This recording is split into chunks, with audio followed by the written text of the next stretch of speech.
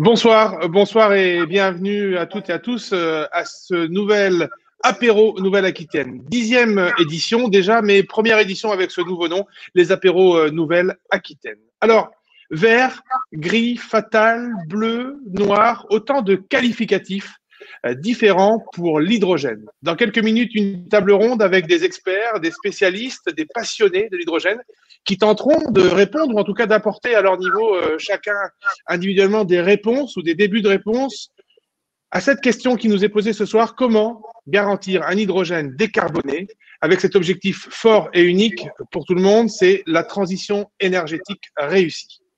Quelques informations sur, euh, sur cet événement et sur la logistique avant de, de passer la parole à nos différents intervenants ce soir. Sur la droite de votre écran, euh, vous avez une fenêtre blanche qui peut peut-être être masquée à travers le petit trait et la petite flèche euh, tout en haut à droite de votre écran. N'hésitez pas à cliquer dessus pour, euh, pour la déployer et vous allez avoir accès à, à trois éléments fondamentaux pour participer à cette soirée, fondamentaux, pardon, trois éléments fondamentaux. Le premier, c'est le chat qui vous permettra d'interagir éventuellement et qui nous permettra à nous de vous envoyer un certain nombre d'informations un onglet à côté qui s'appelle Questions, où nous vous invitons à poser des questions pour les différents intervenants que vous allez voir ce soir. Et euh, je me ferai fort de relayer vos questions et nous essaierons d'y apporter évidemment des réponses à l'ensemble des questions. Et puis enfin, un autre onglet avec sondage euh, sur lequel vous aurez euh, au cours de la soirée quelques petites questions où nous vous invitons à répondre avec peut-être parfois quelques pièges. Mais en tout cas, ça nous donnera de la matière euh, pour pouvoir participer à cette soirée. Merci en tout cas de nous avoir rejoints. Vous êtes euh, plus de 280 inscrits à cet événement et c'est c'est formidable. Événement à l'initiative de la Nouvelle-Aquitaine et qui mieux, de la maison, pardon, de la Nouvelle-Aquitaine, qui mieux que Sébastien Aufort, qui est directeur de la maison de Nouvelle-Aquitaine, pour introduire cette soirée. Monsieur Aufort, bonsoir. Bonsoir et merci. Bonsoir à toutes et à tous. Alors pour commencer, je dois excuser Alain Rousset, le président du conseil régional, sa vice-présidente en charge de l'énergie, euh, Françoise Coutan, et Christelle Piochot, la présidente de la Maison de la Nouvelle-Aquitaine, qui malheureusement tous les trois euh, n'étaient pas disponibles à la date euh, retenue. C'est donc moi, oui, en effet, qui ai le plaisir de, vous accueillir à la Maison de la Nouvelle-Aquitaine, ou presque vous accueillir, et à mes côtés avec toute l'équipe que je remercie pour la, préparation de cette soirée. Alors, vous l'avez dit, les tables rondes avec les, anciens étudiants d'établissements d'enseignement supérieur néo-aquitains, nous en organisons depuis deux ans. En 2021, il y en a déjà neuf au programme, c'est la première, et, en fin de séance, on vous communiquera les prochains rendez-vous. Ces échanges, on les a inscrits dans un cycle d'événements qu'on a appelé les apéros de Nouvelle-Aquitaine, ce qui est vous dire si on a envie de sortir de ces contraintes sanitaires et de refaire vivre euh, la, convivialité qui est indissociable de notre, de notre sud-ouest. Alors justement, la Maison de la Nouvelle-Aquitaine, d'un mot, c'est l'ambassade de la région, l'ambassade de ses territoires et de ses acteurs. Nous sommes installés rue des Pyramides à Paris. Et notre objet, c'est la valorisation des destinations, des produits, des savoirs, des savoir-faire de ce que vous savez être tous la plus grande région de France. La Nouvelle-Aquitaine, Alain Rousset en parlait comme euh, un moment comme de la Californie à la française. Et en effet, la Nouvelle-Aquitaine, c'est la mer et c'est la montagne, c'est la nature et c'est la gastronomie, c'est la qualité de vie, c'est l'agriculture, c'est l'artisanat, toutes ces images qu'on peut avoir de la Nouvelle-Aquitaine. C'est aussi l'innovation, c'est aussi la science, c'est aussi euh, l'économie au service de l'humain, au service de la planète. Et donc, dans cette période où on a tellement besoin de science, tellement besoin de, repères pour comprendre le monde, euh, nous voulions absolument poursuivre ces échanges avec des étudiants, avec des chercheurs, des entrepreneurs, des experts des questions euh, euh, d'actualité et de questions sur lesquelles la Nouvelle-Aquitaine se, distingue donc. La thématique de, ce soir est un parfait exemple de cela. Je voudrais remercier le, pôle Avenia, je voudrais remercier ADI, l'Agence de développement et d'innovation de Nouvelle-Aquitaine, et remercier enfin l'Association des anciens de l'ENSGTI, qui sont ces trois structures avec qui nous avons co-organisé cette table ronde ce soir sur cette thématique. Et puis ce cycle de table ronde avec les, les alumni, pardon, nous les faisons avec euh, des partenaires donc, mais aussi des mécènes, que sont EDF et, le Crédit Mutuel du Sud-Ouest, que je remercie chaleureusement pour ce soutien. Dans quelques instants, d'ailleurs, nous laisserons la parole à, Martin Leis, le délégué régional d'EDF en Nouvelle-Aquitaine. Avant cela, je veux saluer l'ensemble des intervenants de ce soir. Vraiment, merci de, votre présence. Et puis, Nicolas Gorski, euh, merci de, votre, de prendre la main et, d'animer cette, cette discussion. Et puis, on vous a promis un apéro. Alors, on vous a donné rendez-vous à cet horaire euh, qui, avant d'être un horaire de couvre-feu, était celui de l'apéritif. Alors, je ne sais pas si chacun euh, des 150, 200 connectés à son verre, mais nous, on a voulu vous proposer de, de découvrir un produit de Nouvelle-Aquitaine. Je fais une petite parenthèse promo pour vous dire que la Maison de la Nouvelle-Aquitaine, c'est quoi finalement? C'est un centre d'affaires pour vos besoins de réunion sur Paris. C'est un lieu d'événement et de rencontres. C'est un point restauration, restauration remportée en ce moment, bien sûr. Et puis, c'est une vitrine des produits régionaux avec une boutique qui met chaque mois euh, en lumière un territoire ou une filière de, Nouvelle-Aquitaine. Et en février-mars, nous avons accueilli, nous accueillons euh, chez nous un printemps de l'agriculture en remplacement du, salon, bien sûr, et donc, la boutique propose actuellement une sélection assez incroyable de, qualité à prix euh, direct producteur de produits d'alimentation, de vins et de spiritueux de toutes les spécialités des 12 euh, départements que, que compte la région. Mais voilà, c'est jusqu'au 24 mars, donc je le dis aux Parisiens et aux Parisiennes euh, qui ne seraient pas encore passés nous voir, ne tardez pas, c'est jusqu'au 24 mars. Et donc, comme moi j'ai trop parlé et que vous avez déjà soif, euh, je vous propose d'accueillir Gilles Merlet de la Maison Merlet, qui est située en Charente-Maritime, à côté de Sainte, et qui va nous en dire un petit peu plus sur les, cognacs et les liqueurs qu'ils produisent. Et, ces produits, vous pouvez les retrouver justement en boutique de la Maison de la Nouvelle-Aquitaine jusqu'au jusqu'au 24 mars. Voilà, donc merci à tous et très bonne table ronde. Merci, Monsieur Fort. Merci, Monsieur Merlet, de nous avoir rejoints. Alors, faites-nous saliver euh, en nous parlant de vos produits. Bonsoir. Vous me donnez, vous me donnez combien de temps? Parce que je pense que sinon, moi, je peux, je peux vous tenir un moment. Mais je pense qu'il faut, faire un C'est très frustrant comme exercice, mais vous avez trois minutes. ah, oula Bon, très bien. Écoutez, euh, tout simplement, nous sommes le produit de la, si vous voulez, l'exemple de, de, ce que la, la région de Cognac peut, produire et surtout de la, de la diversification, puisque euh, dès 1973, premier choc pétrolier, les, les cognacs, le marché du, cognac connaît un, un, gros coup de mou, et donc il a fallu euh, essayer de, un petit peu de, sauver les meubles et essayer de trouver d'autres débouchés à la fois pour la vigne, euh, mais aussi de développer d'autres activités. Et euh, par hasard, je suis arrivé sur le Cassis dans les années 77 et nous avons planté avec un, groupe d'amis une centaine d'hectares de vignes entre 79 et 82 et nous avons commencé à faire notre première récolte euh, en 82 grâce à l'arrivée des machines à vendanger. C'était un peu le, but, c'était effectivement d'arriver à... Et euh, bon, c'était un, un pari technique et ce pari a été un pari gagnant. euh, on a commencé à, récolter et puis donc à vendre notre fruit. Et je me suis dit, bon, vendre du fruit, c'est très bien, mais euh, il faut aller plus loin. Et donc, quand on a un pied dans le cognac, on pense liqueur. Et, j'ai commencé dès 83 à faire euh, une liqueur de cassis, une crème de cassis. Et je dois vous dire qu'en en 2015, au journal officiel de la République française, a été officialisé le cahier des charges de l'indication géographique Cassis de, de Saint-Onge, voilà, qui est un petit peu notre, notre bâton de maréchal. Mais ça a été surtout le point de départ de, tout un développement d'une gamme de, de liqueurs. Euh, d'abord liqueur de, fruits, puis après liqueur au cognac, avec, avec une, explosion en 2002, avec la mise sur le marché, une coopération avec un, un, Américain d'une boisson, d'une liqueur un peu spéciale, un peu folle, euh, qui s'appelait Hypnotique, qui a été vraiment un succès phénoménal.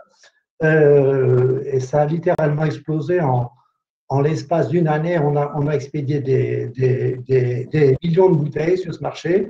Ça nous a fait bien entendu changer d'échelle. Et, et, ça continue, si vous voulez. Et depuis, donc, on a développé toute une, toute une gamme de liqueurs de fruits, mais liqueurs au cognac aussi. Et depuis quelques temps, euh, d'autres spiritueux euh, et particulièrement euh, dernièrement, depuis maintenant 4-5 ans, le whisky français qui prend, nous n'avons pas été les premiers à, produire du whisky français, mais nous sommes, nous ont été, euh, et, pour lequel on voit qu'il y a, a un, un, vrai marché. Nous avons tous les, tous les outils pour le faire. Nous avons les, alambics, nous avons les chais, nous avons l'expertise tonnellerie, etc. Et, c'était vraiment pour nous une, une nouvelle opportunité qui se, qui se développe. Vous les avez avec vous, euh, Monsieur Merlet, les bouteilles? Pardon? Vous les avez à nous montrer peut-être les bouteilles pour terminer? Je ne même pas. Non, vous ne les avez même pas. Désolé. Mais simplement, euh, à la maison Nouvelle-Aquitaine, eh y a, y a, on a mis deux produits. D'abord, la crème de cassis, euh, qui est effectivement notre, notre premier produit de, diversification. Et puis, une, une, une liqueur café, cognac, fait avec effectivement d'abord le café d'un torréfacteur qui est le le grand torréfacteur de La Rochelle, également Rubimal Merlin, et puis, et puis notre cognac, c'est un, excellent produit qui effectivement a vraiment trouvé sa place au milieu d'une gamme assez large. Voilà, je suis désolé. Merci, M. Merlet. Ne vous inquiétez pas. je fais vite. C'est parfait. Effectivement, à mettre les, bouteilles, désolé. Mais... C'est parfait, mais vous savez quoi? J'ai confiance euh, à, celle qui assure en coulisses depuis euh, l'organisation de cet événement. De cet événement pardon, c'est Eugénie Rivière et elle va profiter du chat pour nous donner euh, quelques infos, un lien peut-être pour qu'on voit vos produits et rappeler tous les produits qu'on peut retrouver à la Maison de la Nouvelle-Aquitaine. Merci en tout cas de nous avoir fait saliver avec la frustration évidemment des événements sanitaires qui font que ben, on aurait bien aimé trinquer et parler du produit avec vous, mais euh, c'est sûr, on le fera bientôt à l'occasion euh, d'un prochain événement. Merci en tout cas d'être venu partager euh, votre passion, votre savoir-faire et, et, ce, ce, coup de cœur finalement qu'a eu Sébastien Aufort pour vos produits ce soir avec nous. Frustrant, c'est vrai, mais il faut que tout le monde puisse s'exprimer. Et puis, ces événements, comme le disait Sébastien Aufort, sont organisés grâce à des mécènes. Et nous avons la chance ou le plaisir, en tout cas ce soir, de recevoir Martin Lex. Martin Lex, vous êtes le délégué régional Nouvelle-Aquitaine EDF. E et vous êtes mécène de ces événements. Euh, merci, en tout cas, euh, encore une fois, de nous avoir rejoints ce soir. Merci Nicolas, bonsoir à toutes et tous. Un petit mot rapide hein, pour présenter EDF, hein, qui est un électricien acteur de la transition énergétique en Nouvelle-Aquitaine. On a signé une convention avec Alain Rousset pour accompagner la transition énergétique. On emploie plus de 9000 salariés dans la région. On recrute des alternants. Rien qu'en 2020, on a 470 jeunes qui travaillent dans nos équipes. Et puis, ben, on est aussi attentif à la dynamique de la Maison Nouvelle-Aquitaine. Et donc, on a été partenaire depuis l'origine de ce qu'on appelait au début du networking, ce qui est maintenant des apéros en distanciel. Mais il me tarde de goûter les produits de Gilles, le whisky français ou le cognac euh, rue des Pyramides à Paris, dans ce magnifique lieu. Euh, un mot pour dire qu'on a des liens forts avec le monde de l'éducation et des grandes écoles, puisque on travaille avec eux pour euh, faire connaître les enjeux de la transition énergétique et parler de notre mix décarboné. On favorise l'alternance, comme je l'ai dit, comme porte d'entrée vers les métiers d'EDF et on embauche encore à EDF hein, sur les métiers techniques. Et puis, bon, on veut développer des liens avec les entreprises, les grandes écoles, les universités. Je suis moi-même, euh, par exemple, parrain de la promotion de l'ENSIP à Poitiers et on a des liens forts aussi avec Sciences Po à Bordeaux. Euh, on a un mix diversifié, donc euh, on produit de l'électricité bas carbone à base de nucléaire, la centrale du Blayot de Civaux, d'hydraulique, hein, on turbine l'eau de, la Dordogne et des, des, rivières des Pyrénées, on développe des champs solaires ou éoliens. C'est un peu compliqué l'éolien, vous savez qu'il n'y a aucune éolienne dans le territoire de l'ancienne région Aquitaine, mais on y travaille. Et puis, ben, on a créé une, euh, puisque je parlais de bas carbone, je vais vous parler électrolyse de l'eau et production d'hydrogène, puisqu'on a créé une filiale qui s'appelle Dynamics, qui est spécialisée dans l'hydrogène et qui est positionnée sur, sur la technologie bas carbone d'électrolyse de l'eau. Et donc, notre ambition, c'est de développer des projets en Nouvelle-Aquitaine en travaillant sur des écosystèmes, sachant que nous, ce qui nous intéresse, c'est plutôt les, moyens de transport lourd ou le levage. Hein. Euh, par exemple, on a un projet en cours avec le port de Bayonne. Et donc, en synthèse et conclusion, on est très heureux d'être partenaire de la Maison Nouvelle-Aquitaine. Euh, j'espère pouvoir y emmener mes équipes très prochainement faire un séminaire. Et on est très heureux aussi d'accompagner tout ce qui se fait autour des Napéro Alumni. Et le sujet de ce soir nous intéresse tout particulièrement. Merci beaucoup, euh, Martin Lex, en tout cas pour euh, euh, tous les efforts fournis pour soutenir ces événements et pour votre présence ce soir. Merci, merci sincèrement. Nicolas Gontier, alors vous, je, me retourne vers vous. Vous êtes responsable projet pétrole et gaz, géothermie et stockage géologique du pôle Avenia. Est-ce que vous pouvez nous éclairer un peu sur ce sujet avant qu'on retrouve nos intervenants? Parce que je vois dans le chat qu'ils disent quand est-ce qu'on parle d'hydrogène, mais j'ai l'impression qu'on vient de glisser dans le sujet. Donc, en quoi ça vous concerne, vous? Oui, donc bonsoir à tous. Pour commencer, je tiens à remercier la Maison de la Nouvelle-Aquitaine qui nous donne l'opportunité justement de, mettre en lumière l'hydrogène et notamment l'hydrogène euh, du sous-sol. Donc le pôle Avenia, nous sommes pôle de compétitivité des industries du sous-sol.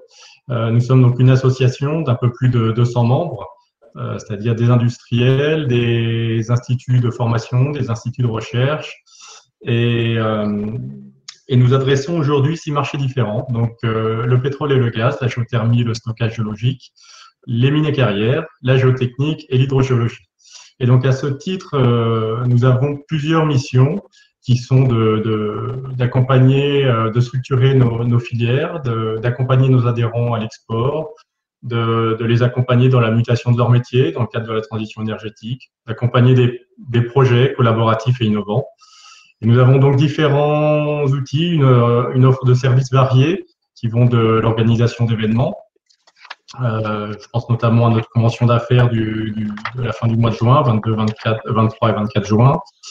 Euh, nous labellisons des projets euh, et nous sommes à l'initiative où nous portons euh, différentes euh, initiatives, justement, comme, comme Earth2, dont nous reparlerons peut-être plus tard dans la soirée, qui vise à, à promouvoir l'hydrogène du sous-sol, et notamment le stockage géologique et l'hydrogène naturel, à fédérer ces acteurs et, et voilà, donc à, à, mettre sur le devant de la scène ces, ces sujets qui sont, qui sont souvent oubliés lorsque l'on lorsque l'on parle d'hydrogène.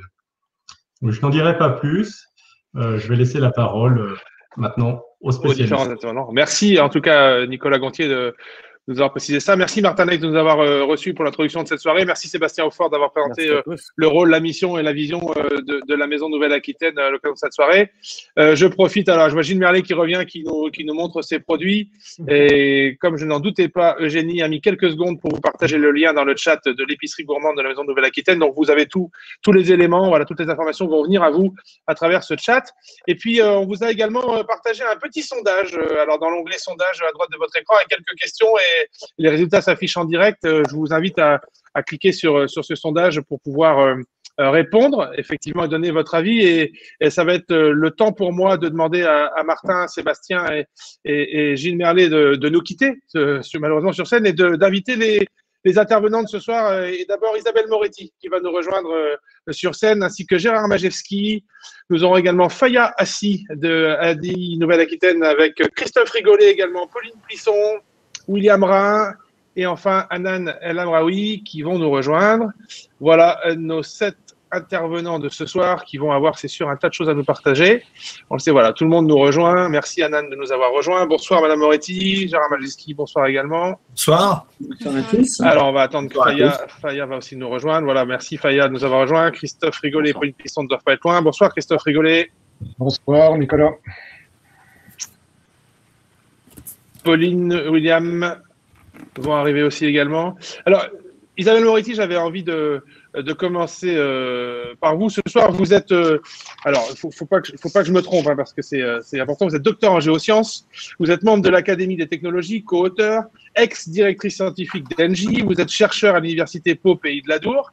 Et je vous pose une première question ce soir, parce que c'était la question du sondage, et les avis sont très partagés. Est-ce que le symbole de l'hydrogène, c'est H ou c'est H2 Tiens.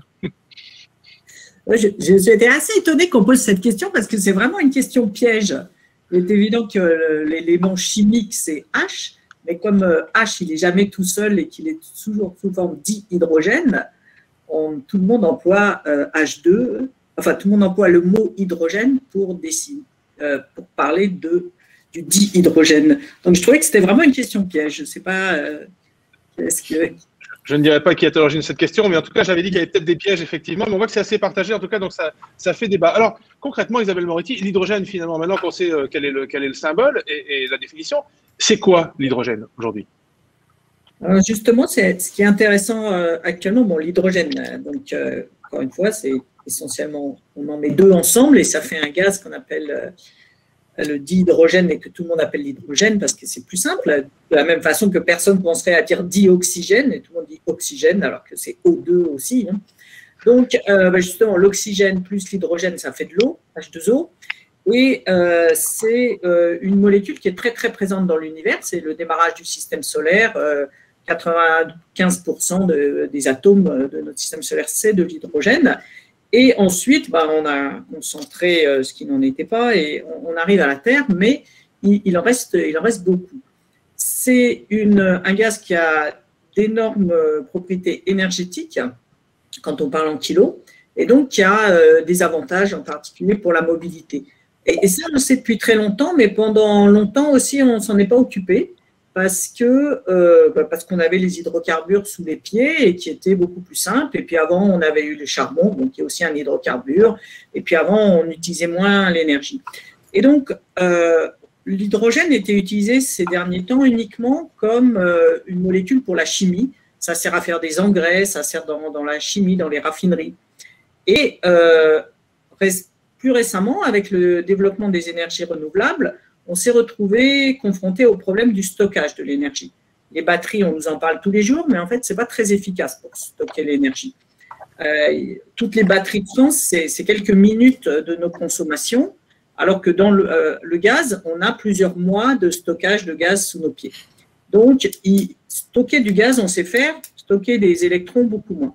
Donc, les gens ont commencé à regarder comment passer de l'électricité en gaz, et à ce moment-là, ben, on tombe sur les électrolyseurs et les pierres à combustible pour passer dans l'autre sens, et on développe euh, ce, circuit qu'on appelle Power to Gas to, Power. Et là-dessus, euh, bah, une fois qu'on est parti là-dessus, les gens se sont rendus compte que bon, euh, c'était bien, c'était une bonne idée, mais ça faisait un hydrogène qui était cher. Alors, il faut beaucoup travailler pour faire baisser le prix des électrolyseurs. Je pense qu'on en parlera peut-être cet après-midi. Aussi, pour faire baisser le, prix des piles à combustible qui vont Ensuite, euh, repasser sur l'électricité, voir comment on va avoir un usage de tout ça. Mais il y a d'autres façons de faire de euh, l'hydrogène et de l'hydrogène décarboné qui sont ben, l'hydrogène naturel, dont on va pas mal parler tout à l'heure, puisque je vois que, Christophe est là. Euh, moi-même, je travaille en effet, comme vous l'avez cité, à l'Université de Pau, où on a tout un, projet de recherche là-dessus à, différents niveaux. Et puis aussi, il y a des, choses qui sont, euh, elles aussi, au, niveau du, démarrage de, l'industrie, qui sont euh, dans le méthane. Donc, le méthane, c'est le gaz naturel qu'on connaît bien. C'est CH4, séparer le carbone de l'hydrogène, mais sans faire du CO2 euh, au passage. Et ça, ça peut se faire avec des torches plasma et ça peut se faire aussi avec ce qu'on appelle une pyrolyse de, l'hydrogène. Actuellement, il y a l'Université de Madrid et les Allemands qui, réfléchissent pas mal à ça.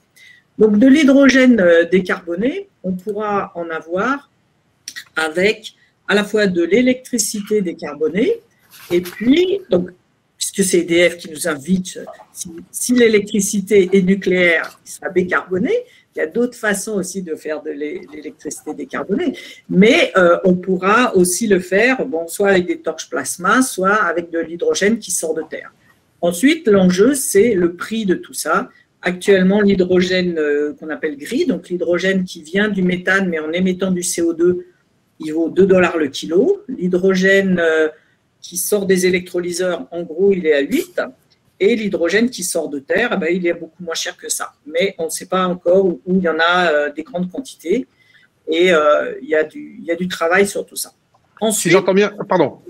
juste, pour revenir sur un point, si j'entends bien ce que vous dites, en fait, vous dites que l'hydrogène qu'on va appeler gris, c'est ça, hein, qui, qui va être le, le, plus, le plus le moins bon, j'ai envie de dire, c'est le c'est aujourd'hui le moins cher, c'est ça, et plus on va aller vers euh, vers de l'hydrogène pur ou décarboné, plus ça va coûter cher. Donc ça c'est un vrai enjeu aujourd'hui de trouver de développer les industries qui sont capables de, produire cet hydrogène décarboné.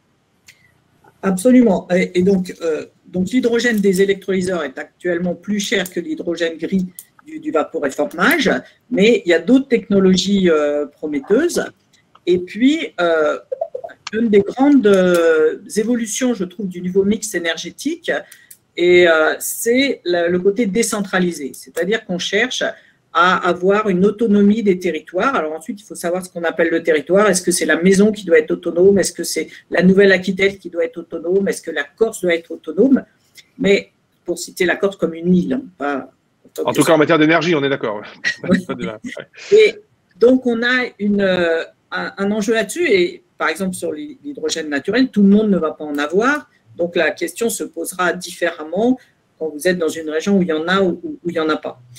Et, donc, se, enfin, se décentraliser, je pense que c'est la, vraie euh, énorme révolution qui se passe en ce moment. On multiplie les sources d'énergie et on essaye d'économiser le développement d'une grille. En France, on vit dans un pays où on a de la distribution du gaz, on a de la distribution de l'énergie, euh, de l'électricité, pardon, et donc, on, voit ces choses sous un angle un peu biaisé. Une grande partie de l'Afrique, il n'y a pas d'énergie, il n'y a pas d'accès à l'énergie parce qu'il n'y a pas de grille. Et donc là, le rôle de l'hydrogène, il va être complètement différent aussi. Mais en Aquitaine, parce que c'est ça qui nous occupe aujourd'hui, donc il y a euh, un, développement de l'industrie de l'hydrogène qui est en cours, et là, je pense qu'on va avoir pas mal d'exemples dans ce début de soirée, et puis aussi une, appropriation de l'utilisation de l'hydrogène. On voit qu'il commence à y avoir de la mobilité hydrogène à, droite, à gauche. Alors, c'est euh, pas la panacée l'utilisation. Hein. Si on veut développer euh, euh, l'industrie, il faut surtout développer les briques technologiques plus que l'utilisation. Mais voilà, on, s'approprie quand même les technologies en, les utilisant. Et donc, je vais laisser la parole à, tous les autres de, la soirée parce que, comme vous voyez, je peux, je peux parler des heures là-dessus.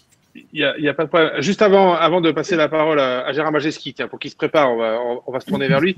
Euh, vous, l'enjeu, c'est un, faire baisser les coûts, mais euh, engager aussi une vraie démarche euh, industrielle auprès des gens qui vont produire l'hydrogène et des solutions qui vont l'utiliser. C'est ça, c'est bien ce que j'ai entendu dans votre intervention Alors, produire l'hydrogène, c'est une chose, mais aussi produire les briques technologiques qui vont faire de l'hydrogène, qui vont permettre de stocker de l'hydrogène.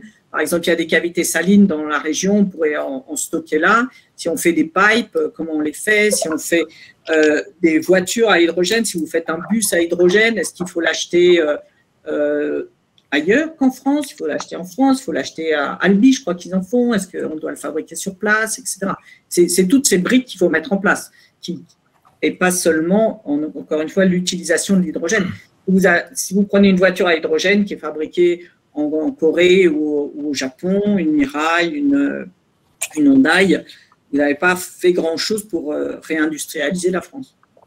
Ok. Avant de, avant de poser une question, parce que c'est un engagement que nous avons pris ce soir, c'est d'essayer de répondre à toutes les questions.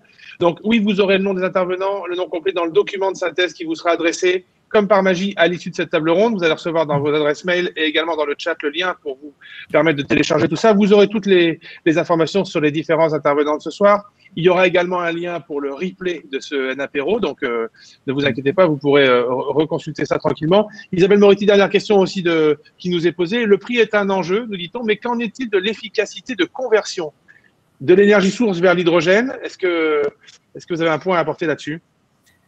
Alors, Juste, euh, bah c'est en, en, phase avec un point qui vient d'être nommé dans le chat aussi. Hein. Quand on parle de l'hydrogène vecteur, c'est-à-dire on passe de l'électricité ou du méthane à l'hydrogène pour repasser à autre chose, le problème de l'efficacité est important. Si vous prenez l'hydrogène natif, il n'y a plus de problème d'efficacité. Vous ne transformez rien en rien. Vous sortez l'hydrogène du, sol et, vous le mettez directement dans la voiture ou dans le train. Mais euh, en effet, euh, l'efficacité, enfin le, le, terme financier va avec l'efficacité parce que si vous prenez une pile à combustible avec 70% euh, d'efficacité, euh, pardon, un électrolyseur à 70% et une pile à combustible à 50, 7 fois 5, ça fait 35, et vous arrivez à une efficacité à, la fin qui est quand même, vous perdez les deux tiers de l'énergie. Donc l'hydrogène en tant que vecteur implique une grande perte d'efficacité. L'hydrogène euh, natif, c'est directement la source de l'énergie. Merci Isabelle Moretti. Améliorer l'efficacité va améliorer le coût de, l'électricité finale. Merci pour cette précision. Alors, Gérard Margeski, je me tourne vers vous. Vous êtes le référent hydrogène, pardon, vous êtes le référent hydrogène euh, euh, pour euh, le Conseil régional de Nouvelle-Aquitaine. C'est vous qui portez en quelque sorte la feuille de route hydrogène de la région Nouvelle-Aquitaine. En quoi ça consiste? Parce qu'on entend les enjeux du côté des chercheurs et, de la recherche. Pour la région Nouvelle-Aquitaine, les enjeux, on pourrait les matérialiser comment? Tout d'abord, c'est un travail très collectif hein, et collaboratif. Euh, c'est comme ça d'ailleurs qu'a été conçue euh, la stratégie hydrogène et euh, la, feuille de route hydrogène dans notre région. parce qu'au tout départ, en fait, comme vous le savez, la Nouvelle-Aquitaine provient bah, du, regroupement trois anciennes régions, hein, Aquitaine, Poitou-Charentes et Limousin, et aucune de ces trois régions n'avait identifié l'hydrogène comme un, comme véritablement stratégique. Ça ne veut pas dire qu'il n'y avait pas des compétences hein, en termes d'entreprise et de, de laboratoire notamment, mais euh, ça n'était pas identifié comme stratégique. Quand la Nouvelle-Aquitaine a été créée, euh, on, a travaillé avec l'ensemble des industriels déjà impliqués, les quelques territoires labellisés, des laboratoires pour justement vérifier l'opportunité d'accompagner sur le plan régional la filière hydrogène. Et on a été assez surpris de voir qu'il y avait véritablement beaucoup de compétences, euh, des territoires également déjà impliqués, et qu'il euh, y avait une forte appétence, comme on dit aussi pour l'hydrogène, euh, ce qui fait que l'on a commencé à y réfléchir pour la, pour la structurer. ensuite, on a été rattrapé très positivement par la feuille de route régionale Néoterra, qui a été votée en juillet 2019, qui donc travaille sur tous les aspects de la transition énergétique et environnementale. Et l'hydrogène, donc, a, été inscrit dans cette feuille de route pour répondre à deux ambitions, hein, sur la mobilité et sur le mix énergétique. Donc, tout ça, ça nous a permis effectivement ensuite, en travaillant avec l'ensemble des professionnels, alors les entreprises, les territoires, les laboratoires, syndicats d'électricité, euh, de pouvoir euh, travailler sur, là aussi j'insiste, sur un, de manière collaborative, euh, sur une stratégie qui ensuite a été déclinée en feuille de route et cette feuille de route a été votée à la plénière du mois d'octobre 2020 et elle va se déployer sur 10 ans. Là aussi, c'est un fait assez notable, puisque la plupart des feuilles de route sont plutôt sur 3 ans. Euh, là, on a choisi 10 ans. Et eh bien, en fait, parce que, bah, comme l'a dit euh, euh, Isabelle Moretti tout à l'heure, et, c'est un fait connu, bon, pour l'instant, l'hydrogène n'a pas encore rencontré complètement son marché, puisque les coûts sont quand même encore plus élevés que les énergies, je dirais, traditionnelles. Mais à partir de 2023, 2025, 2026, l'hydrogène devrait être considéré comme mature. Voilà, et donc on s'aligne aussi là-dessus sur les déploiements que l'on retrouve en Allemagne, au niveau national, au niveau européen, où en général on a des perspectives à 10 ans, 20 ans, 30 ans. Voilà. Et, euh, et alors très rapidement, euh, pour laisser la place aux autres, bien entendu, donc on a souhaité aussi que cette euh, feuille de route soit très opérationnelle, hein, très très opérationnelle. Donc elle est déclinée en, en, en 8 fiches actions. Bon, je vais les citer très rapidement, mais vous les trouverez de toute façon dans les documents. Vous avez réunir les conditions de marché dans les territoires. Ça rejoint ce que l'on disait tout à l'heure. L'hydrogène, pour l'instant, est encore un peu, un peu plus cher que les autres énergies, mais la molécule, les véhicules, les stations, tout cela va, diminuer assez rapidement.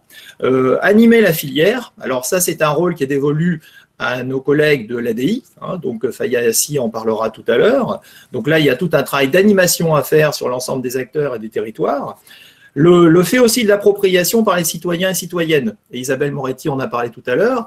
Donc ça, c'est très très important. C'est effectivement qu'il y ait une appropriation dès le départ de l'hydrogène par les citoyens et une implication aussi des citoyens euh, dans l'hydrogène. Alors, sur deux aspects très rapidement, la dangerosité, hein, rassurer les citoyens sur le fait qu'en fait, bon, l'hydrogène peut être dangereux, mais dans les conditions dans lesquelles on, le sert, on la sert, et eh bien en fait, tout danger est écarté. Et également la provenance de cet hydrogène. On en a parlé tout à l'heure, l'hydrogène gris, l'hydrogène noir, l'hydrogène bleu, l'hydrogène vert.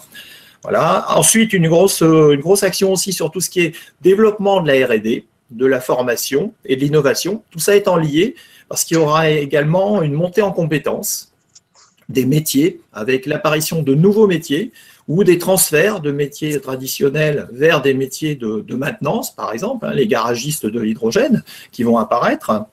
Ensuite, bien entendu, le développement de la filière économique, puisque ça, c'est l'une des compétences principales de la région, hein, c'est d'accompagner le développement économique du territoire. Donc, euh, l'hydrogène, là-dessus, est un vecteur qui va permettre de développer des entreprises.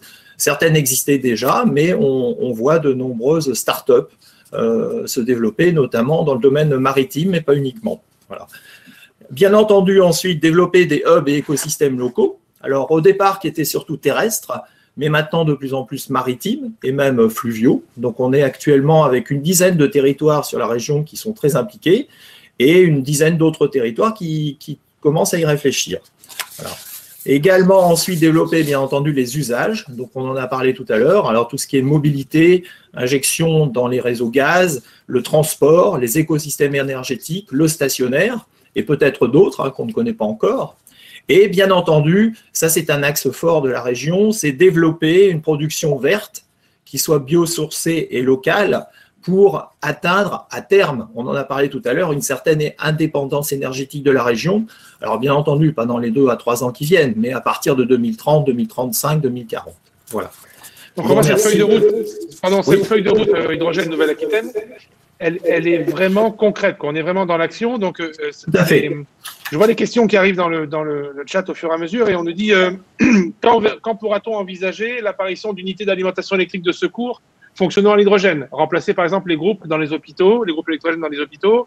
On nous demande est-ce que vous envisagez de, de, développer des trains à hydrogène, comme ça a été annoncé dans certaines régions? Est-ce que c'est quelque chose qui, dans ces feuilles de route, est vraiment d'actualité? Oui, oui, tout à fait. Eh bien, en fait, euh, bon, cette feuille de route va être est, en train d'être déclinée et c'est aussi le rôle là en termes d'animation de, l'ADI. Hein, donc, Fayet en reparlera. À partir donc de la cartographie des, des acteurs que l'on connaît, que l'on accompagne, euh, il y aura un gros travail d'innovation puisqu'on travaille aussi avec l'ensemble des laboratoires de, euh, Nouvelle-Aquitaine qui travaillent sur l'hydrogène. Il y en a six. Hein, il y a donc, euh, bon, Madame Moretti représente Pau, mais il y a bien entendu Bordeaux, qui est un institut, l'ICMCB. Il y a deux instituts à Poitiers un institut à Limoges, l'IRCER, un institut qui est, qui est, spécialisé sur la recherche céramique, et également La Rochelle. Donc là, on a tout un potentiel de recherche publique auxquels on peut adjoindre, bien entendu, des recherches privées. Euh, les collègues de Terrega qui sont présents, euh, Hydrogène de France qui est là aussi, qui, permettent euh, effectivement de travailler sur ces aspects-là. Et ça permettra donc d'offrir des solutions technologiques nouvelles en termes de mobilité, de stationnaire. Et concernant les trains, pour répondre à votre question, effectivement, nous avons un pôle transport à la région et l'hydrogène est un sujet important. Euh, au niveau des TER, hein, des, trains donc euh, de transport régionaux. Euh, ça, ça fait partie des objectifs qui seront à terme pour verdir en fait le parc, le parc train régional. Oui, ou décarboner le transport, en fait. Ça peut. Voilà, de, la même manière que pour les, bus, pour les bus aussi. Hein, voilà. Ah on, nous pose une question directement pour vous. Alors, c'est carrément pour Gérard, là, dans le, dans le chat. Quel est le plus gros électrolyseur de Nouvelle-Aquitaine? Où est-il situé et combien produit-il de mégawatts? Ah, ça, je, vais demander à mon collègue Faya. C'est vrai alors, eh ben, alors, on va demander à Faya, justement. Merci pour la, merci pour la transition. il y a une meilleure connaissance terrain de, de, nos acteurs. Merci Faya pour Merci. Faya, c'est voilà la, question qui arrive sur un plateau. Faya, si, merci de nous avoir rejoints. Vous êtes chef de projet énergie et stockage pour euh, ADI Nouvelle-Aquitaine. Euh, vous, vous intervenez quoi Au niveau national, au niveau régional? Comment, quand, vous, euh, quand vous avez une région comme ça qui porte une feuille de route avec des projets. Comment ADI peut, accompagner? Bien, en fait, euh, d'abord, bonsoir à tous. Euh, donc, ADI, c'est l'Agence de développement économique et d'innovation de la région Nouvelle-Aquitaine. Donc, euh, de ce fait, en ce qui concerne l'hydrogène, en tout cas, on intervient d'abord au niveau régional, donc, comme l'a dit Gérard, dans une logique d'animation des acteurs de la filière. Donc, ça, c'est un premier point. Mais on intervient également au niveau national, au sens où on participe à des réseaux des réseaux d'acteurs, euh, une association type France Hydrogène, par exemple, donc, qui intervient pour le coup au niveau national, hein, qui porte la stratégie nationale, donc qui,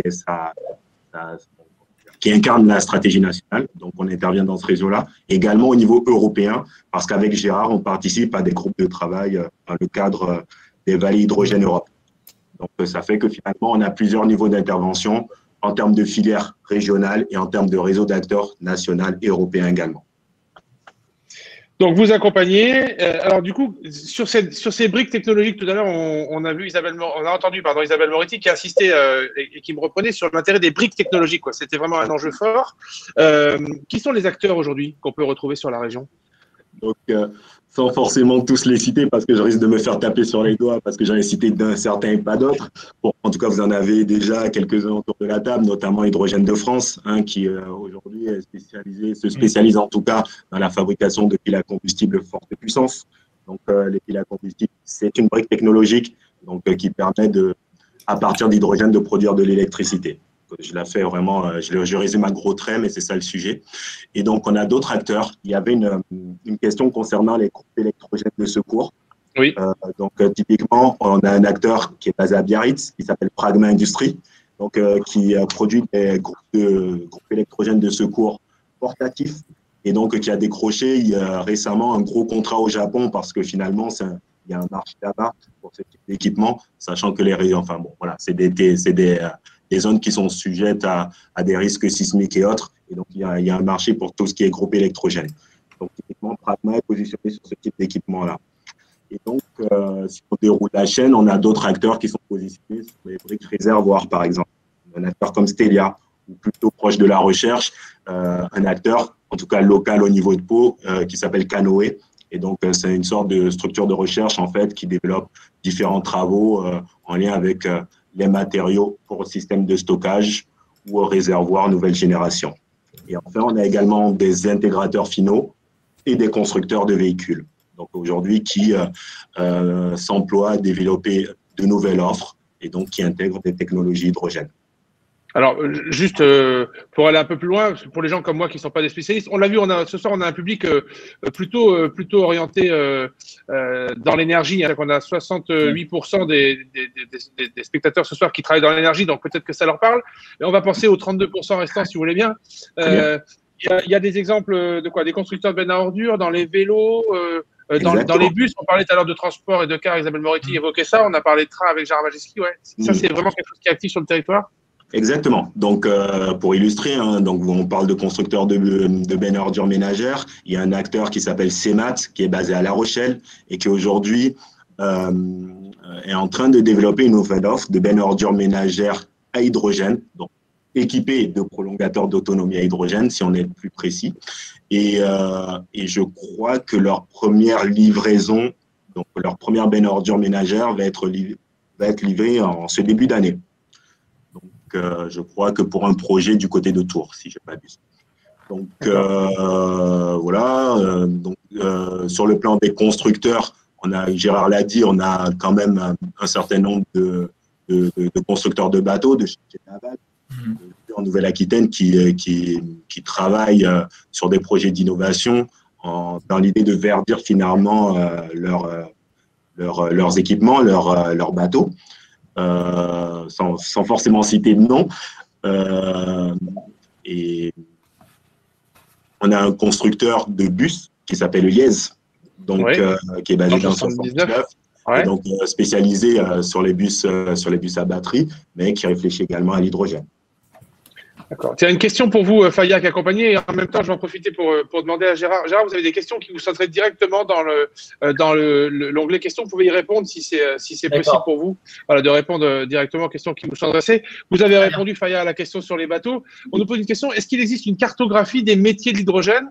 Aujourd'hui, à moyen terme, vous qui accompagnez tous les différents acteurs, est-ce qu'aujourd'hui, on a quelqu'un qui voudrait euh, euh, découvrir, par exemple, ce qu'on nous demande, la, variété des métiers euh, qui sont préoccupés par l'hydrogène? Est-ce qu'il y a une ressource que je pourrais mobiliser ou en tout cas solliciter quelque part pour avoir un regard là-dessus? Alors, je vais répondre et Gérard, tu me compléteras si, si, je suis un peu off dans ma, dans ma réponse. Mais aujourd'hui, il y a des travaux qui ont été menés, qui sont menés par France Hydrogène, donc l'association que, que j'évoquais précédemment, et donc qui vise à cartographier de façon, de façon la plus globale possible l'ensemble des métiers, en fait, euh, relatifs à, la, chaîne de valeur industrielle de l'hydrogène. Donc, cette cartographie-là, elle est en cours de construction. Et l'idée derrière, c'est justement de, de, mettre en face l'offre de formation pour pouvoir préparer les marchés de demain quoi, autour de l'hydrogène. Donc euh, aujourd'hui, je ne suis pas sûr que cette cartographie soit déjà publiée, et je sais qu'en tout cas, il y a un de travail en, cours euh, sur ce sujet-là. Je, confirme, je confirme qu'effectivement, on participe donc euh, au niveau de la région à ce, groupe de travail et ça n'est pas encore publié parce qu'en fait, c'est un, il y a beaucoup de métiers qui sont neufs, hein, qui, ne, sont pas connus forcément, et il y aura également des, transferts de métiers, euh, bah, notamment d'industries de qui sont en plus en difficulté du fait de la crise, hein, et, ça sera inscrit dans le cadre du plan de relance, hein, de reconquête industrielle, et on travaille beaucoup là-dessus avec nos collègues du pôle formation justement parce qu'il y aura un avantage justement à, aider à la création de nouveaux métiers, mais aussi au transfert de personnel, que ce soit des personnels jeunes ou d'expérience, euh, dans des métiers qui, seront euh, appelés dans les nouvelles, nouvelles entreprises. Voilà. Faya, on nous pose une question. Comment s'appelle l'entreprise paloise qui fait des matériaux de stockage hydrogène? Ça vous dit quelque chose? Matériaux de stockage hydrogène, entreprise paloise. ah, comme ça, non. si ça vous revient, vous pourrez répondre dans le chat. On nous interroge aussi sur le, les méthodes de contrôle pour connaître la couleur de l'hydrogène qu'on va consommer dans le futur, parce qu'on parle effectivement de différentes classifications en termes de couleurs. Et je remercie à l'occasion Isabelle Moretti qui répond sur le chat, qui n'arrête pas de, répondre aux questions qui sont posées en direct. On sent que c'est un sujet qui passionne quand même euh, nos, spectateurs ce soir. Euh, Est-ce que vous avez, euh, vous, détecté ou accompagné des, des sociétés, d'entreprises qui, qui, se, qui se préoccupent finalement de ce contrôle de la qualité de l'hydrogène qu'on va, en tout cas de la classification de l'hydrogène qu'on va consommer après?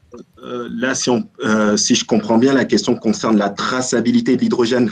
C'est à peu près euh, ça, ce que je comprends aussi, ouais. Mm, mm. Euh, pour moi, le, en tout cas, l'entreprise qui est la plus proche de ces sujets-là, c'est Terega aujourd'hui.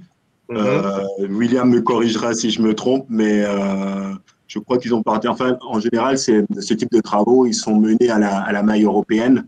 Euh, enfin, tout ce qui concerne en tout cas la traçabilité de l'hydrogène en fonction de, son origine. Et euh, je sais qu'il y a un collectif d'experts qui a été monté pour, pour, développer des travaux sur ce sujet.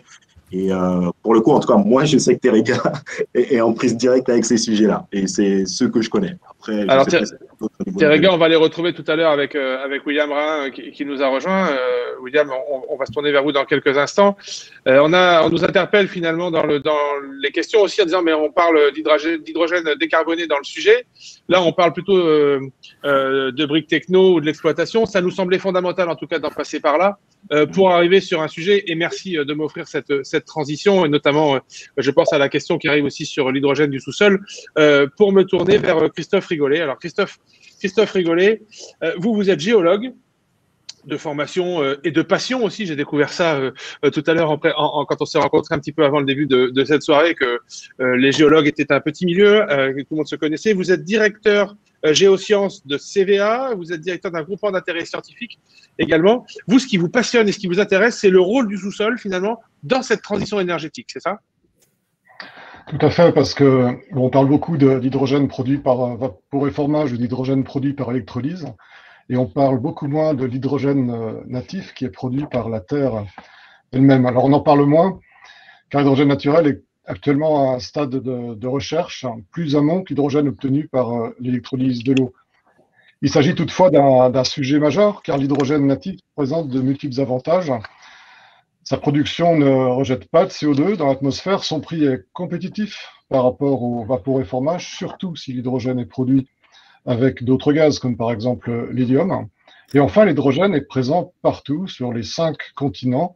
Des centaines de sites euh, d'émanations d'hydrogène ont été euh, référencées avec euh, des flux de 50 à 1900 kg par kilomètre carré et par jour. Alors, il existe un, premier pilote industriel au monde, au, Mali, qui alimente en énergie un petit village, mais il y a aussi en Europe des projets d'exploration, comme deux permis d'exploration déposés en Espagne, dans les Pyrénées. Un peu plus loin, des pays comme euh, Djibouti, par exemple, lancent euh, des campagnes exploratoires ambitieuses pour évaluer la ressource en hydrogène naturel. Et avec l'UPPA et, l'IFP, nous participerons dans, quelques jours à une des premières missions donc euh, d'exploration de ce pays. En France, des dizaines de sites ont été, une grosse dizaine de sites ont été euh, référencés également avec des émissions d'hydrogène, hein, comme dans le département de la, Drôme, dans le Cotentin, dans les Pyrénées ou le long du fossé rhénan, du fossé Bressan et, en Nouvelle-Calédonie. La découverte que nous avons fait l'an passé dans le fossé Bressan a fait l'objet de mesures avec plus de 1500 ppm d'hydrogène dans le gaz qui sointe à flux continu. Nous avons donc lancé un, projet de recherche avec 45 UITNJ pour répondre aux enjeux majeurs techniques euh, de l'hydrogène naturel qui sont la source, de l'hydrogène, d'où vient l'hydrogène, ensuite les chemins par lesquels il euh, transite, et enfin, quelles sont les zones où il peut s'accumuler et comment, afin de définir euh, des zones, des guides exploratoires et, in fine, savoir comment nous pourrions le produire, cet hydrogène naturel. Les enjeux sont également réglementaires. Euh, au niveau gouvernemental, il y a une volonté de faire évoluer le, le code minier pour introduire le terme hydrogène euh, dans le code minier. Mais en attendant, on a quand même une solution, c'est que l'hydrogène, on peut le coupler à d'autres substances qui, elles, sont nommées dans le code minier. Et donc, dans le cas d'une coproduction, il est possible, d'un point de vue réglementaire, de produire l'hydrogène natif en France. L'autre enjeu majeur, c'est l'enjeu sociétal. Euh, comme vous le savez, euh, des projets industriels qui touchent au sous-sol peuvent susciter euh, des interrogations, voire des inquiétudes il faut arriver à expliquer pourquoi l'hydrogène naturel va contribuer au développement des territoires, permettre aux territoires de produire une énergie décarbonée, de décarboner ainsi le mix énergétique et répondre aux grands enjeux de la transition euh, écologique. C'est de cette façon que les parties prenantes vont s'approprier euh, ces projets d'exploration de et de production du sous-sol en, Nouvelle-Aquitaine comme ailleurs et en devenir les principaux promoteurs. Alors, pour évaluer la, ressource en France, pour évaluer la ressource euh, sur ces territoires, en Nouvelle-Aquitaine, définir des guides exploratoires qui vont ouvrir la porte à des projets collaboratifs, Un certain nombre de projets de recherche collaborative ont, été réalisés, initiés. D'autres projets ont été déposés. On a déposé des projets à 45.8, NJ, StoreNJ, le BRGM, les universités de Pau, de Grenoble, comme par exemple un, projet déposé auprès du Conseil régional pour évaluer justement le potentiel en hydrogène naturel en Nouvelle-Aquitaine, projet qui va prendre le relais de travaux importants initiés précédemment par euh, le groupe euh, Total sur euh, la prospectivité en hydrogène des Pyrénées, en particulier du, du Béarn. Donc, ce que nous espérons, c'est que cet intérêt croissant pour l'hydrogène naturel vienne structurer une filière nouvelle d'exploitation du sous-sol pour l'hydrogène naturel. C'est pour ça que l'ensemble des acteurs publics et privés du sous-sol, à notre initiative, celle de 45.8 et d'Avenia, se sont regroupés au sein d'un club, Earth2, qui est en train de se mettre en place pour promouvoir les initiatives euh, que nous pourrions avoir tous ensemble pour créer cette nouvelle filière du euh, sous-sol pour l'exploitation de l'hydrogène naturel. Alors, cet hydrogène naturel dont vous nous parlez, euh, Monsieur Rigollet, là, ce que j'entends, moi, c'est qu'aujourd'hui, on ne sait pas vraiment comment le capturer, c'est ça? On le voit, il y en a, mais euh, la plus grosse difficulté, c'est comment le capturer sans, apport euh, extérieur, c'est ça? C'est exactement la, question. De façon à bien le, capturer, il faut d'abord bien comprendre comment il arrive jusqu'à la surface. Alors à la surface, on observe par exemple sur euh, des images satellites ce qu'on appelle des cercles de, de fées qui correspondent en fait à, à des zones où l'herbe ou les, la végétation se développe euh, difficilement, ça correspond à des espèces de, puits d'hydrogène, l'hydrogène remonte comme ça vers la surface, donc ça on sait l'observer, on sait le mesurer avec euh, des, capteurs, mais on ne sait pas, on sait également quantifier les, les flux hein, et les pourcentages d'hydrogène euh, dans les gaz émis, par contre on ne sait pas exactement quelles sont les technologies qui vont permettre de le produire. Donc il y a des enjeux pour comprendre comment ça fonctionne, mais il y a aussi des enjeux technologiques arriver à assembler les briques technologiques qui vont permettre de produire euh, cet hydrogène. Alors, euh, comprendre donc euh, comment ça fonctionne, ça j'entends ça. On avait une question sur les sur les volumes. on disait, est-ce que vous avez une idée de la quantité d'hydrogène natif présente dans le sol? Alors, ce, qu'on ce qu'on sait quantifier aujourd'hui, grâce aux quelques sites expérimentés dans, dans le monde, c'est le débit euh, d'hydrogène par unité de surface. Hein. Je parlais de les ordres de grandeur, c'est entre 50 et, et, et, et 2000 donc, kilogrammes par kilomètre carré et par jour. Donc, euh, on, on, peut multiplier ça par, par, la, la, la, surface des zones d'émanation, mais là, on ne parle que d'émanation en surface, des volumes qui sont bien inférieurs forcément à l'hydrogène qui qui est plus dans le sous-sol et dont aujourd'hui on n'est pas capable d'évaluer précisément les, les, volumes. Et c'est bien l'objet justement de ces projets de recherche, encore très amont dans l'échelle euh, des TRL, mieux comprendre le système pour mieux localiser, mieux quantifier les ressources en hydrogène. Je peux me permettre de, de rajouter eh oui. Allez-y, Mme avec plaisir, oui. En, en fait, l'hydrogène qu'on trouve dans le sous-sol, il, il, vient de l'eau. Euh, euh, pour une, une, très grande partie, il vient de l'interaction entre l'eau et les roches. Donc, euh, l'eau va oxyder la roche et on va euh, séparer l'hydrogène de l'eau dans H2O. Donc, on a une génération continue d'hydrogène dans, le sous-sol. Et une, une, question qui se pose, est-ce qu'elle est continue en. Est-ce que ça se fait dans la journée ou est-ce que ça se fait dans l'année ou est-ce que ça se fait dans la dizaine d'années? Donc, les choses sont plus à voir comme la géothermie. Trouver un endroit où l'eau se réchauffe dans le sous-sol. Si vous allez en Islande, c'est l'eau de pluie qui, qui qui se réchauffe et qui ressort sous forme de vapeur. Et on, on pense que dans beaucoup d'endroits, ce sera la même chose pour l'hydrogène. C'est l'eau de pluie ou l'eau de mer, selon là où on est, qui réagit avec la roche et libère l'hydrogène. Donc on parle de flux, comme le disait Christophe, et non pas forcément d'accumulation, comme pour les énergies euh, fossiles, qui des fois sont là depuis des millions d'années. Une question qui arrive dans le chat pour, pour tous les deux, hein, pour vous Isabelle Moretti et, vous Christophe Rigolet, qui dit, d'après vous, selon vous, hein, plutôt euh, dans les 10 ans, alors c'était c'est marrant parce que finalement 10 ans c'est la feuille de projet Nouvelle-Aquitaine. Euh, Qu'est-ce qui est le plus probable? Des forages d'exploration d'hydrogène euh, en France ou un développement du CCS qui va assurer à l'hydrogène euh, gris sa pérennité et donc la stabilité des réseaux électriques? Je vais, je vais répondre pour le reste du monde et je laisserai Christophe répondre pour la France. Allez, alors pour le reste du monde, et puis on, on se centrera sur la France après. Ouais, Madame Moritier, à vous, ouais, allez-y. Voilà. actuellement, la filière est vraiment en train de, démarrer. On a tous le sentiment de, sortir du garage. Donc, le, premier congrès mondial sur l'hydrogène natif euh, aura lieu en, juin. Vous, aurez le lien dans, les papiers qu'on vous envoie. Il y a plein de pays qui commencent à se, faire une feuille de route d'hydrogène naturel. Donc, moi, je suis prêt à prendre les paris que dans dix ans, il y aura peut-être une production d'hydrogène naturel dans une dizaine de pays au monde. Euh, je ne mettrai pas ma main à couper qu'il y en aura en France, mais je laisse Christophe répondre. Alors, Christophe, en France donc, euh, en France, concernant l'hydrogène euh, naturel, comme je le disais en concluant mon intervention, lorsqu'on prend l'initiative de créer ce club Earth2 et qu'en quelques jours, l'ensemble des acteurs français du sous-sol public qui privé nous rejoignent pour structurer la filière, ça laisse entendre que les planètes s'alignent, que d'un point de vue technologique, en termes d'investissement également, on se prépare à explorer euh, le sous-sol. Et quand on parle d'explorer, le temps de déclarer les permis, le temps de réaliser l'exploration, euh, si on se projette à 10 ans, on pourrait imaginer que les premiers grands projets d'exploration ont abouti à des résultats positifs et que les premiers pilotes industriels sont, euh, sont en œuvre. Quant à la question de la compétition entre l'hydrogène et le CCS, on, on aborde deux questions est-ce que vous pouvez démystifier le CCS déjà pour les gens qui peut-être ne savent pas forcément ce que c'est? C'est donc, euh, donc pour désigner le stockage géologique euh, du CO2.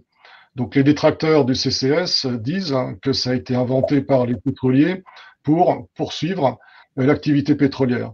À mon sens, la réflexion aujourd'hui est de se poser la question du rôle du sous-sol en transition écologique, c'est-à-dire aller chercher dans le sous-sol toutes les solutions qui vont nous permettre d'accélérer la transition écologique et qu'elle soit un succès. Il n'est pas question aujourd'hui de cesser de produire des hydrocarbures du jour au lendemain. Donc, il va falloir accompagner la production, la consommation d'hydrocarbures par une solution euh, CO2. Le stockage géologique du CO2 dans le sous-sol étant la solution qui permet de, capturer le plus gros volume de CO2, donc qui est à la hauteur des enjeux en termes de volume. Et dans le même temps, les mêmes géologues spécialistes du sous-sol sont à la recherche de nouvelles solutions sociales pour décarboner le mix énergétique. Donc il ça n'a pas de sens pour moi d'opposer les deux. C'est au contraire les technologies développées et les connaissances développées dans les exploitations historiques du sous-sol, en particulier les hydrocarbures, qui par transfert de compétences vont permettre d'affronter intelligemment ces nouveaux enjeux qui sont donc de décarboner l'énergie en allant chercher d'autres ressources naturelles décarbonées comme les ressources géothermiques ou la ressource hydrogène natif. Il y a une question dans le, dans, dans, dans le chat là où on nous demande si est-ce qu'on sait si l'hydrogène se stocke naturellement dans le sous-sol à la manière des hydrocarbures ou euh, et, s'il est plus volatile. Euh, attendez, l'hydrogène qui est plus volatile et qui est connu en tant que flux à la surface peut-il se piéger en dessous d'une couche d'argile par exemple? Si j'ai bien entendu tout à l'heure, vous dites que c'est tout l'enjeu de la recherche en ce moment, c'est essayer de comprendre comment on va le capter, c'est ça? Ce qu'on va actuellement, actuellement, une façon de, de, présenter les choses de façon un petit peu caricaturale, euh, effectivement, l'hydrogène ne peut pas être piégé comme le méthane. Euh, H2, c'est pas comme si H4, c'est tout petit, ça va filer beaucoup plus facilement que le méthane à travers ce qu'on appelle une couverture géologique. euh, de réservoir. On parle plutôt d'aller capter l'hydrogène dans des zones où l'hydrogène circule et il y aurait un goulet d'étranglement qui viendrait ralentir le flux d'hydrogène et donc provoquer une zone d'accumulation temporaire. le terme accumulation est peut-être impropre. En tout cas, un goulet d'étranglement dans lequel on, viendrait donc euh, euh, chercher l'hydrogène pour le produire. Après, heureusement, qu'il y a des roches qui arrêtent complètement l'hydrogène. C'est pour ça qu'on est capable de le stocker dans le sous-sol, dans des cavités salines et au niveau du Mali, c'est une roche volcanique qui, arrête ou ralentit l'hydrogène. Et donc, euh, oui, on peut avoir euh, des accumulations qui ressemblent euh, aux accumulations du, gaz fossile. On va essayer de répondre à toutes les questions parce qu'il y a beaucoup de questions justement notamment sur le fait de, de puiser au fond des océans avec cette comparaison du Mali, mais on, va y revenir. Juste euh, un instant pour moi pour vous spécifier que vous avez toujours la possibilité de répondre au sondage parce que euh, notre équipe euh, technique envoie des questions régulièrement. Donc la bonne nouvelle, c'est que 66% de nos spectateurs sont prêts à rouler en voiture à hydrogène. Tiens, et qui et sont plus de, de 80% à avoir tout à fait ce qu'on peut faire d'hydrogène. C'est plutôt euh, une bonne nouvelle. Et alors vraiment très très bonne nouvelle, 71% de, des spectateurs passent un super moment, top, parce que c'est super intéressant pour eux. Donc, merci à, tous nos intervenants de, partager cette passion. Pauline Plisson, alors vous, vous êtes directrice d'activité chez Naldeo, c'est ça? Vous êtes une société d'ingénierie. L'hydrogène, c'est un sujet qui n'est pas nouveau finalement pour vous? Non, alors tout à fait. Alors peut-être un mot sur Naldeo qui n'est pas aussi connu que EDF. euh, donc, c'est une société dont la mission est l'excellence technique au service du climat. Euh, pas nouvelle sur l'hydrogène, effectivement, puisque nous étions, encore il y a quelques mois connus sous le nom du département énergie de la société Bertin, euh, dont le site d'excellence sur ces sujets d'innovation dans l'énergie est situé à Tarnos dans les Landes. Et nos équipes ont effectivement commencé à travailler sur des sujets hydrogène un petit peu plus spécifiques et confidentiels que les sujets de bus, de vélo, euh, d'industrie dont on passe ce soir, qui étaient des activités militaires, nucléaires, spatiales, par exemple. Très bien. L'hydrogène bas carbone, puisque c'est le sujet qui nous concerne, hein, comment on passe justement de, l'électrolyse à l'hydrogène naturel. Euh, pour vous, c'est un sujet sur lequel vous, euh, vous, êtes euh, accompagnateur de développement. Quel, rôle vous jouez là-dedans? Oui, alors mon équipe qui est, composée d'ingénieurs, d'experts dans la mission et est de faire sortir les bonnes idées des innovateurs des laboratoires pour passer avec succès les étapes d'industrialisation, les premiers pilotes, puis les premières réalisations industrielles. dans le domaine de l'hydrogène, alors pour compléter euh, et rappeler les, les, les, moyens de production euh, conventionnels d'hydrogène, puis euh, j'en viendrai aux innovations. Euh, le moyen de production classique, ça a été évoqué tout à l'heure par Isabelle Moretti, c'est le, le, reformage du, du, gaz naturel, du méthane, donc la molécule CH4 cassée en CO2 hydrogène. Donc on a bien une émission de CO2. alors l'électrolyse désormais bien connue, qui consiste à à casser les molécules euh, d'eau. Euh, et donc là-dessus, l'électrolyse va permettre une production d'hydrogène bas carbone, à condition que l'électricité qui alimente les électrolyseurs soit elle-même euh, décarbonée. et dans la famille des électrolyseurs, on a deux grandes typologies, les électrolyseurs PEM, les électrolyseurs alcalins. Euh, maintenant, en termes d'innovation, une première euh, information intéressante, c'est qu'il y a beaucoup de sociétés françaises hein, euh, qui développent des innovations technologiques dans le domaine de la production d'hydrogène. On peut citer des sociétés comme Ergosup, comme Sylphen, qui sont des, des personnes avec qui, avec qui nous travaillons, qui, donc pour les deux que j'ai cités, sont toujours dans la famille de l'électrolyse, mais développent des innovations euh, qui permettent de faire de l'électrolyse avec des, nouvelles euh, avancées. Euh, dans le cas d'Ergosup, on délivre l'hydrogène directement à haute pression, donc on évite derrière le besoin d'avoir un, compresseur pour amener l'hydrogène à sa pression d'utilisation. Dans le cas de Sylphène, on a en fait un produit deux en un qui est à la fois un électrolyseur et une pile à combustible. Donc ça, c'est pour les innovations dans la famille de l'électrolyse, mais voilà, il y en a d'autres que je peux détailler au fil, au fil des questions. Oui, on nous parle, on, nous parle dans le, dans le chat de, euh, des algues. Alors, euh, les algues, euh, la biomasse, les micro-organismes, la thermochimie de l'eau, tout ça, c'est les déchets même, on, avait parlé, c'est une source potentielle de production d'hydrogène. Est-ce que ce sont des vrais travaux On avance, on y va? Parce que là, on est vraiment dans le, dans le sujet de l'hydrogène naturel et, clairement décarboné, j'ai envie de dire.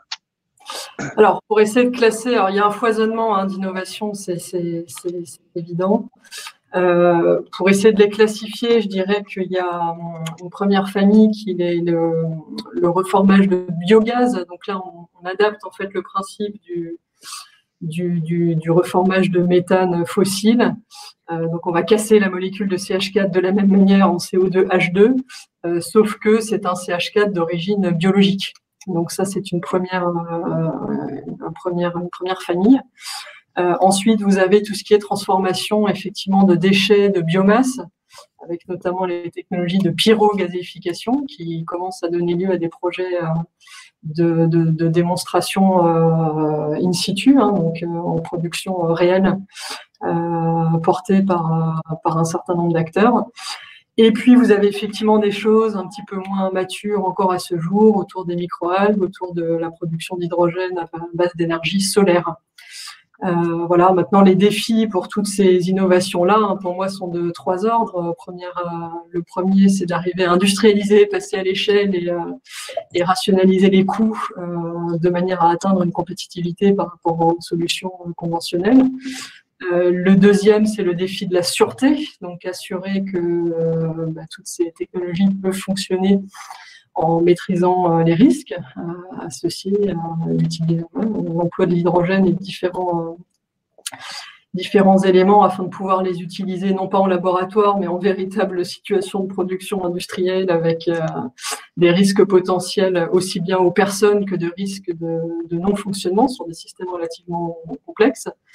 Euh, et le troisième, c'est le défi du financement euh, de ces innovations, donc avec euh, effectivement ce qui est une bonne nouvelle, un foisonnement non seulement de, pépites technologiques de start-up, mais également de, de nouveaux fonds d'investissement pour certains spécialisés sur, sur l'hydrogène qui se créent quasiment toutes les semaines actuellement.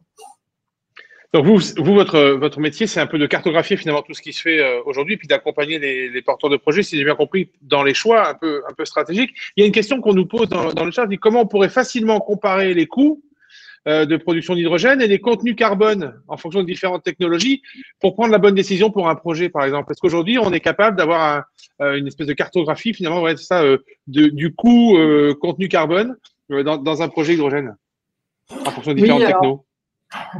Nous avons développé un, simulateur qui est gratuit, donc je pourrais vous le mettre dans le, dans le, par écrit dans le chat, euh, qui permet très facilement de pouvoir obtenir des éléments de coût de contenu carbone pour euh, comparer si je fais un, un, projet solaire plus batterie, si je fais un projet solaire plus chaîne hydrogène pour le stockage, si je fais un projet euh, de production à partir de biomasse, vous allez pouvoir avoir des grands éléments technico-économiques. Et on est en train d'adapter cette plateforme avec une version spécifique hydrogène qui, va, prochainement sortir. Et je précise que c'est euh, adapté à des porteurs de projets n'importe où sur la planète. Euh, donc là, on dépasse largement le cadre français ou régional. Nouvelle-Aquitaine, super. Alors, euh, j'espère qu'on aura répondu à la question de, Johanna. Donc, merci de, partager l'information, Pauline, si vous pouvez, dans le chat, euh, ou de la partager euh, par toute l'équipe technique qui organise cet événement de la Maison Nouvelle-Aquitaine et qui, qui redirigera l'info, évidemment, vers toutes les personnes qui nous ont rejoints ce soir. Une question, alors je vous la pose telle quelle, Pauline, et je ne sais pas si c'est si vous ou si d'autres vont la répondre, mais combien un électrolyseur, un électrolyseur pardon, actuel génère-t-il d'hydrogène par jour? Combien de kilos d'eau et de kilos d'électrodes faut-il pour générer un kilo d'hydrogène dans un électrolyseur PEM ou alcalin? Alors voilà une bonne question, non? Oui, alors à cette heure avancée, et sachant qu'il y a encore des intervenants, je ne vais peut-être pas partir dans les chiffres. S'il y a un co-intervenant qui, a les éléments par cœur, euh, volontiers. Mais ah, Isabelle Moretti, je vous vois. Je vous vois réagir. Ouais, c'est peut-être pas simple, mais euh, on a une idée d'un ratio peut-être ou quelque chose pourrait, qu'on pourrait communiquer. Euh, je veux dire, euh, l'oxygène, ça doit être 16, l'hydrogène, c'est 1. Donc voilà, c'est une règle de 3. Hein. Ouais, ouais l'eau, la masse molaire de l'eau, c'est 18 grammes par mol et l'hydrogène, c'est 2. Donc il y a un rapport 9. Voilà. voilà. Donc pour avoir 1 kg d'hydrogène, il vous faut 9-10 kg d'eau. Quoi. Alors voilà, 1 kg d'hydrogène, 9-10 kg d'eau. La réponse émane de William Rahin. Je ne pouvais pas faire mieux. Euh, pour faire la transition. Merci Pauline pour votre intervention. William, bienvenue. Merci de nous avoir rejoints. Euh, on a eu passer quelques questions dans le chat sur euh, le stockage, le transport. Vous, vous êtes euh, chargé d'études de stratégie et innovation chez Terega. On a entendu tout à l'heure Fayassi qui, qui citait votre nom. Votre métier, vous, c'est de, de stocker du gaz finalement et de transporter du gaz. Est-ce qu'on transporte et est-ce qu'on stocke de l'hydrogène aujourd'hui comme on stocke du gaz par rapport à l'expertise que vous avez aujourd'hui Est-ce que ça va, la transition va se faire comme ça d'un seul, seul claquement de doigts, j'ai envie de dire? Ah, pas d'un seul claquement de doigts, j'en suis désolé, ça sera un peu plus long. Euh, oui, en Terrega, on est transporteur et stockeur de gaz naturel, et c'est vrai que depuis 2014, euh, avec le projet Jupitermine, hein, avec un projet de Power to Gas, on est rentré dans le monde de l'hydrogène, euh, projet mené par GRT Gaz et dans lequel on participe. Donc, on, est vraiment rentré dans le sujet de l'hydrogène et encore plus et encore plus, euh, encore plus, plus profondément avec le plan hydrogène lancé par l'ex-ministre Nicolas Hulot en 2018, où finalement on a été sollicité les transporteurs et, gestionnaires d'infrastructures pour étudier comment on pouvait intégrer l'hydrogène dans les infrastructures gazières. Et en fait, par ces études-là, on est vraiment rentré sur bah, les caractéristiques de nos infrastructures et les caractéristiques de l'hydrogène, et on a pu finalement identifier et s'apercevoir que nos infrastructures, elles étaient euh, relativement compatibles pour le transport et le stockage de l'hydrogène. De ce qui était vraiment intéressant. Et là, et le point qui était vraiment intéressant sur cette étude-là, et ce qui a vraiment été notable, c'est que la problématique, elle est plutôt sur les usages, en fait. C'est-à-dire que nous, on pouvait monter à 10-20% d'hydrogène dans le gaz naturel, et on pourrait même atteindre 100%. Alors après, il faut peut-être ajuster la pression, mais du coup, la problématique, elle est plus sur les usagers qui consomment le gaz naturel. Si on leur met 20 ou 30% euh, dans le gaz naturel, c'est possible que leur équipement ne soit pas compatible. Donc la problématique est plutôt sur ce sujet-là. Et, et de ce fait-là aussi, et l'année dernière, il y a un gros, enfin, un gros game changer qui est arrivé dans le monde de l'énergie, hein, c'est l'hydrogène, hein, qu'on parle aujourd'hui, euh, mais qui est arrivé vraiment et, qui, qui, a vraiment amené un, nouvel impact sur l'énergie, euh, avec euh, bah, vraiment un, gros, un gros changement, surtout sur la production d'électricité renouvelable. Donc en fait, on a deux zones qui sont l'Europe du Sud et l'Europe du Nord, où on a des gros potentiels de production d'électricité renouvelable, solaire ou éolien, suivant la zone où on se situe donc plutôt solaire dans l'Europe du Sud et plutôt éolien dans l'Europe du Nord et la mer du Nord. Et, ces productions d'électricité solaire euh, ou éolienne ont fait baisser les prix de l'électricité. Hein. En Espagne, en Portugal, on parle de 10-15 euros du mégawattheure électrique. Et en fait, avec ces, ces, ces, ces prix de l'électricité et puis un coût de l'électrolyse qui devrait baisser si on généralise et les plans de relance annoncés par les différents États membres européens montrent qu'il y a quand même une grosse ambition et des moyens financiers pour développer ces électrolyseurs, bah, on pourrait atteindre 1 euro, 1,50 euro du kilo de l'hydrogène renouvelable produit. Et ce que nous, on regarde, et donc les sollicitations qu'on a eues l'année dernière, c'est bah, les producteurs, euh, que ce soit en Europe du Nord ou en Europe du Sud, qui viennent nous voir en nous disant bah nous on pourrait produire l'hydrogène renouvelable à 1 euro, 1,50 euro du kilo. Euh, on a potentiellement des off-takers intéressés, des clients, des consommateurs, mais on voudrait savoir bah, si on veut le transporter de façon massive, combien ça peut coûter. Et donc sur cet exercice-là qu'on est en train de faire avec les autres gestionnaires d'infrastructures en Europe, hein, donc dans toute l'Europe, et il y a une publication qui est, qui est sortie l'année dernière où finalement on arrivait à des coûts de 10-20 centimes d'euros pour transporter l'hydrogène par exemple de l'Espagne vers l'Allemagne. L'Allemagne, ça va être le gros consommateur euh, d'hydrogène renouvelable euh, en Europe. Hein, pour atteindre la neutralité carbone, euh, les pays qui n'ont pas l'électricité décarbonée comme à la France bah, doivent miser sur l'hydrogène. C'est-à-dire que pour atteindre la neutralité carbone, ils n'ont pas le nucléaire, donc ils doivent viser l'hydrogène bas carbone et renouvelable. Et donc, l'Allemagne est bien consciente que si elle veut atteindre la neutralité carbone, il faudra qu'elle puisse importer de l'hydrogène qui viendra d'Europe du Nord ou d'Europe du Sud. Et pour ça, il faut les infrastructures.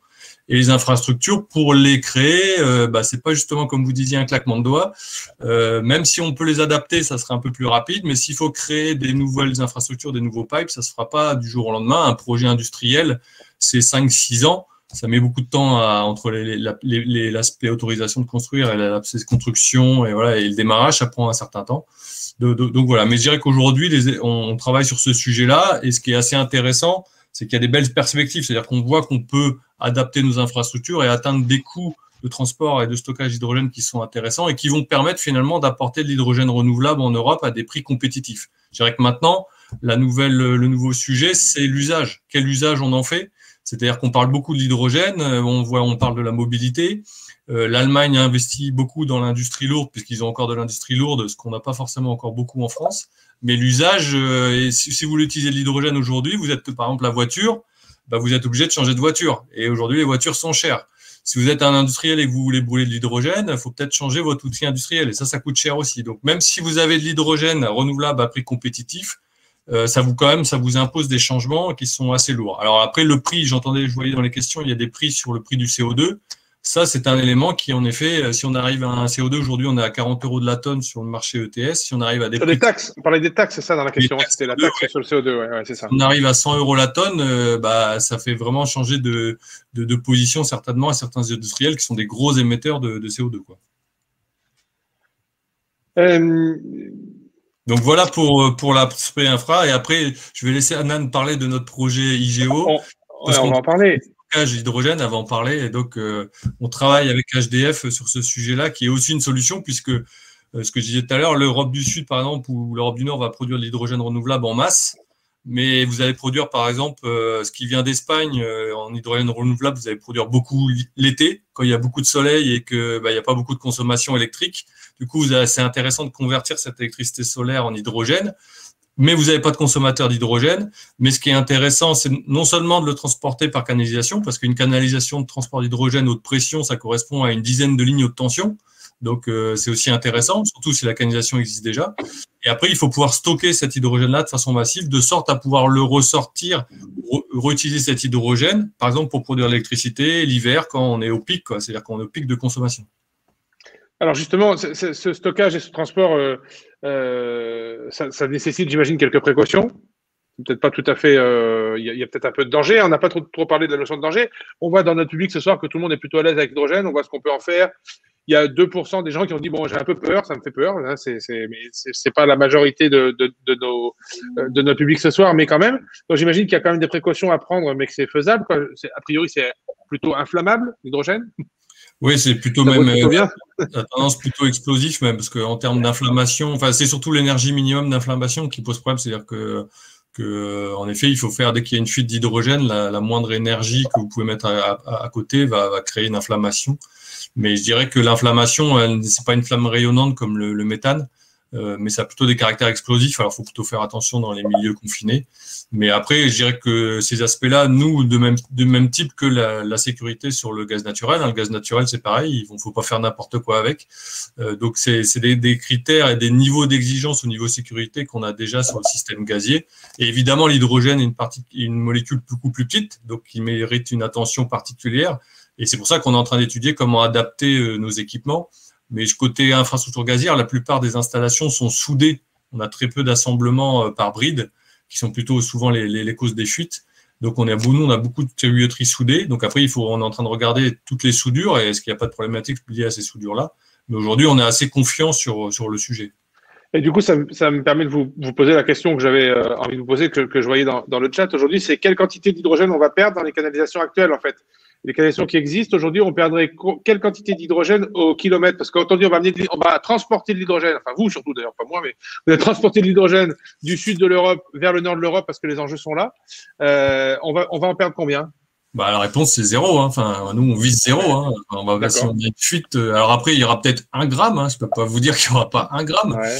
Mais, nous, on vise zéro, évidemment, c'est zéro. Et c'est ça, c'est toute la, particularité aussi du réseau gazier par rapport aux éolèques, hein, c'est qu'on n'a on pas, on pas de perte. Hein.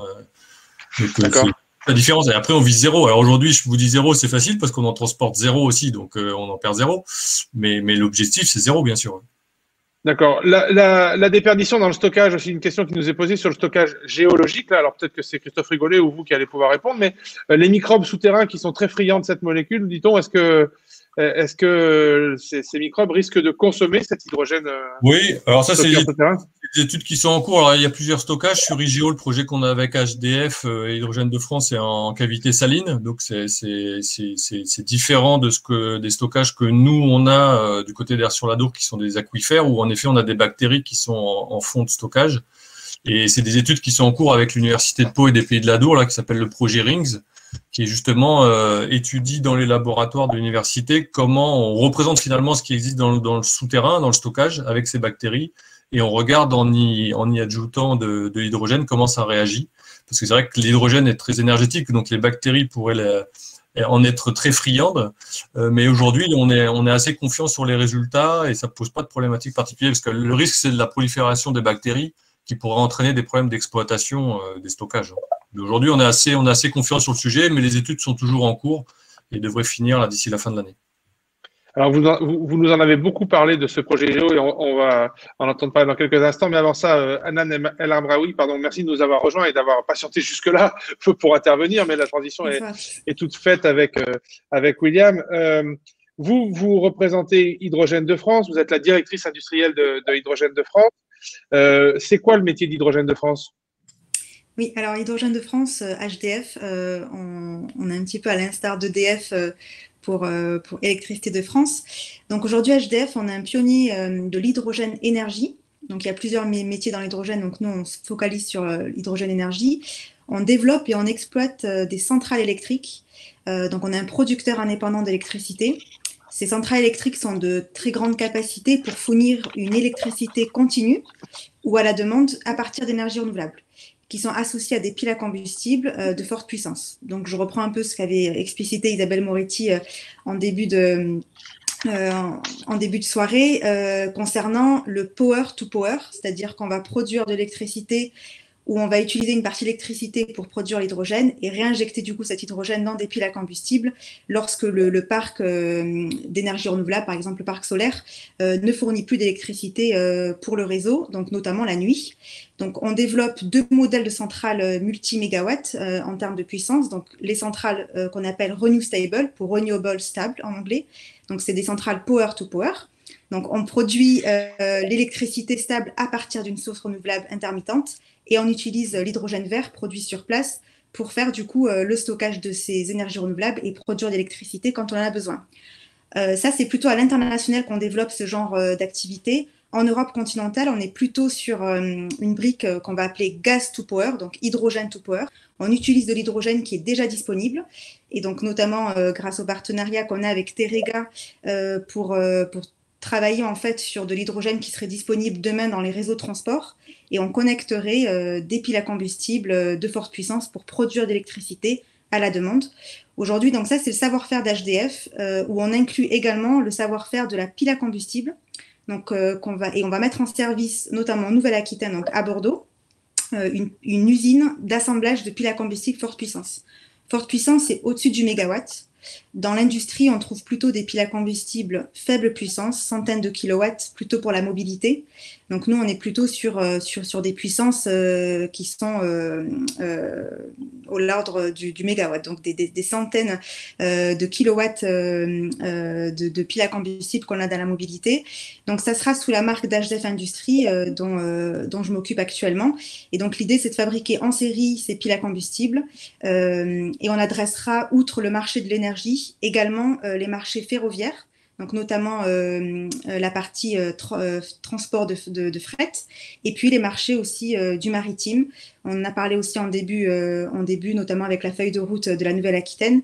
Il y a pas mal de projets dans le maritime pour développer finalement de la propulsion ou de l'alimentation des auxiliaires des bateaux en hydrogène pour éviter du coup d'utiliser les générateurs diesel pour alimenter les bateaux. Donc voilà brièvement qui est HDF.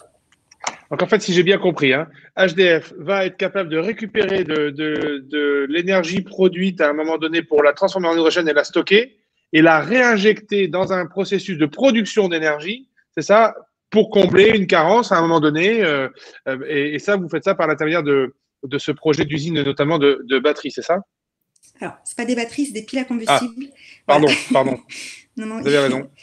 Euh, c'est une autre technologie. Donc euh, aujourd'hui, la pile à combustible, c'est plutôt un moteur où euh, le fuel, au lieu que ça soit du diesel, on, aurait de l'hydrogène comme carburant. Voilà. D'accord. Et donc ça, parce que on va reboucler finalement ça, parce que vous nous avez parlé de, de projets internationaux, vous avez recentré sur l'Europe, et puis là, on vient sur la Nouvelle-Aquitaine, parce que ce projet-là, il va se passer près de Bordeaux, je crois, c'est ça, c'est acté, c'est signé euh, pour l'instant, c'est tout proche en tout cas euh, de, ces piles à combustible. Là, vous allez euh, installer cette usine. Il y a beaucoup d'emplois à la clé, je crois, donc c'est aussi pour. c'est vrai ça, ou enfin, je dis pas de bêtises? Non, tout à fait, oui. Aujourd'hui, on, a 100 emplois à la clé pour la construction d'usines et on tend d'ici à 2030 pour tendre vers 1000 emplois avec une capacité de gigawatts au niveau de la capacité de production de l'usine. Voilà. Et donc, à côté de Bordeaux, du coup, euh, c'est le projet euh, dont a parlé William, euh, qui n'est pas très trop loin de Pau. Donc, c'est le projet IGEO. Donc, nous, dans notre activité, aujourd'hui, en tant que producteur d'électricité, à partir d'hydrogène, on aura besoin de stockage, comme l'a bien indiqué William. Et donc, le stockage géologique dans les cavités salines en ce qui concerne l'hydrogène euh, est le mieux placé, euh, nous, en tant qu'utilisateurs, euh, du fait de la réactivité quand on va injecter l'hydrogène dans ces cavités et soutirer du coup à la demande. Donc c'est un projet qu'on développe avec Terega, également avec le BRGM, et qui notamment a été validé pour la première phase du projet et labellisé par le pôle Avenir. Il y a une question dans le, alors pour, tous les deux, hein, parce que bah, j'imagine que vous, Anan, vous allez produire beaucoup d'hydrogène. Euh, William, il va le stocker, il est content. Mais est-ce qu'on a la capacité suffisante de stocker l'hydrogène? C'est une question qu'on nous pose en France. Finalement, est-ce qu'on va avoir euh, suffisamment de, de sites de stockage, pardon Est-ce qu'on va être en capacité de, stocker tout cet hydrogène? Bah, enfin, après, il y a beaucoup de cavités salines déjà en France. Hein. Alors, il y en a dans, dans la Nouvelle-Aquitaine, il y en a aussi euh, du côté de, de Manosque et puis aussi dans le nord de la France. Et après, ce qu'on a fait, ce qu'on est en train de regarder, nous, puisque en effet, dans les projets là, de production massive que prévoit l'Europe du Sud, donc on a, on a, on discute là sur l'idée de, créer des dorsales de transport de l'hydrogène pour vraiment transporter massivement l'hydrogène.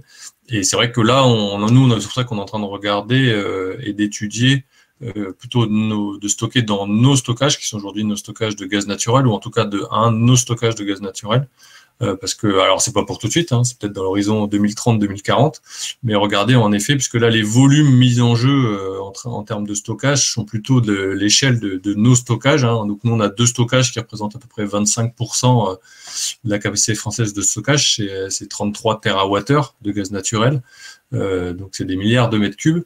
Et, et c'est vrai que dans les projets là qu'on voit, euh, bah, il faudrait une quinzaine de cavités salines euh, comme on a par exemple sur IGO, donc ça, ça, peut être assez compliqué. Quoi. Mais en tout cas, on arrive dans des échelles où on voit qu'il faut, euh, il, faut des gros stockages. Mais après, c'est là où il y a certainement, un, comme on le disait tout à l'heure, un switch, une transition à faire entre le gaz naturel et, l'hydrogène. Et, et, la consommation de gaz naturel devrait baisser pour atteindre la neutralité carbone. Donc c'est peut-être là où bah, l'hydrogène va remplacer petit à petit le gaz naturel. Merci, merci euh, à toutes et à tous pour votre intervention. Isabelle Moretti, je me retourne vers vous parce que on, a commencé avec vous tout à l'heure euh, et, euh, on a senti cet enjeu finalement qui était de dire il faut il faut développer ces industries qui vont fabriquer l'hydrogène. On vient de voir il y, a des, solutions qui sont en place. Il faut développer les, solutions qui vont utiliser l'hydrogène. On voit que ça va être générateur d'emplois, donc on comprend effectivement la feuille de route de la région Nouvelle-Aquitaine par rapport à tout ce qu'on vient d'entendre ce soir, alors c'est pas une question piège, mais en conclusion, c'est plutôt porteur d'espoir finalement. J'ai l'impression qu'on est un, moi qui suis novice du sujet, j'ai l'impression qu'on est à un vrai tournant euh, du, sujet hydrogène et que là on rentre dans le concret quoi. comme vous le disiez, on est à un vrai tournant au niveau de l'énergie depuis euh, cinq ans et l'hydrogène en fait complètement partie et de plus en plus d'acteurs euh, sont convaincus qu'on ne pourra pas décarboner l'énergie en Europe euh, sans donner une très belle place à l'hydrogène. Donc tout, tout ce qu'on a discuté ce soir est, autour de ça et j'étais très impressionné de voir qu'il y avait 130 euh, personnes, dont, certains que je connais en fait, mais la plupart ni d'Ève ni d'Adam et vu le niveau des, des, questions, des réponses, bon, il y avait des vannes aussi, mais et vraiment il y a un écosystème qui existe et, qui a envie. Et, donc, bah, si certains d'entre vous sont en début de carrière, ben, vraiment, il y a, vous avez 40 ans de passionnants qui, vont se dérouler devant nous avec une, industrie euh, de l'énergie et, de, la mobilité et du bâtiment qui, va être complètement différente de, ce qu'on voit aujourd'hui. Donc, bah, comme toutes les périodes troublées, euh, euh, voilà, si, on aime euh, le ronron, euh, on va peut-être être un peu déstabilisé, mais c'est passionnant. Et puis, bon, pour ce qui est de, faire du surplace, là, on, s'est entraîné pendant un an. Donc, on a tous envie qu'on nous lâche la bride. Merci en tout cas pour, euh, pour cette conclusion. J'espère que ceux qui ont posé des questions que je n'ai pas forcément réussi à, retranscrire euh, ne nous en voudront pas trop. Quoi qu'il en soit, dans quelques instants, par la magie du spectacle, et encore une fois, merci euh, à Eugénie, merci à Sandrine et merci à, Sébastien Aufort de la Maison Nouvelle-Aquitaine euh, qui vont euh, vous faire parvenir un, document euh, ressource d'accord, qui a été créé, qui va vous être adressé par mail. Vous allez retrouver les contacts de nos intervenants, euh, des, euh, des slides, comme on dit euh, dans, les, dans, dans, les pays anglophones, en tout cas des informations et des chiffres qui vont appuyer tout ce que vous avez pu entendre ce soir. merci vraiment Isabelle Moretti. je rappelle, vous êtes docteur, docteur en géosciences et merci d'être venu représenter l'université pour Pays de la Dour ce soir. Merci à Faya Assi par ordre d'apparition sur mon écran, Fayassi euh, ADI Nouvelle-Aquitaine. Merci beaucoup. Pauline Plisson aussi qui était là euh, ce soir pour représenter Naldeo, euh, dont elle est la directrice. William Ra, merci de nous avoir expliqué comment le transport et le stockage d'hydrogène peut, peut s'activer aujourd'hui. Merci à Christophe Rigolet de nous avoir éveillé, en tout cas moi c'est mon cas, sur la production d'hydrogène naturel sous les océans. Merci également à Anan El Amraoui de nous avoir parlé de ce projet IGO, mais aussi de euh, euh, tous les projets portés par euh, Hydrogène de France. Enfin, merci Gérard Majeski de nous avoir parlé de cette feuille de route hydrogène de la région Nouvelle-Aquitaine. Je pense que la boucle est bouclée. Merci à toutes et à tous de nous avoir suivis. Ce document ressource, je vous l'ai dit dans quelques instants, et une date à noter déjà dans vos agendas si ça vous a plu, si cette soirée était intéressante pour vous. Ben, je vous propose de, de retrouver le prochain apéro le 24 mars euh, donc prochain, évidemment. Le sujet sera responsabilité sociétale des entreprises. Bref, encore beaucoup de débats, des experts, des gens passionnés. Merci à toutes et à tous. Excellente fin de soirée et à très bientôt. Merci beaucoup. Merci Nicolas et merci à tous. À bientôt. Au revoir. Merci pour l'organisation. Merci à tous. Bonne soirée. À tous, bonne soirée.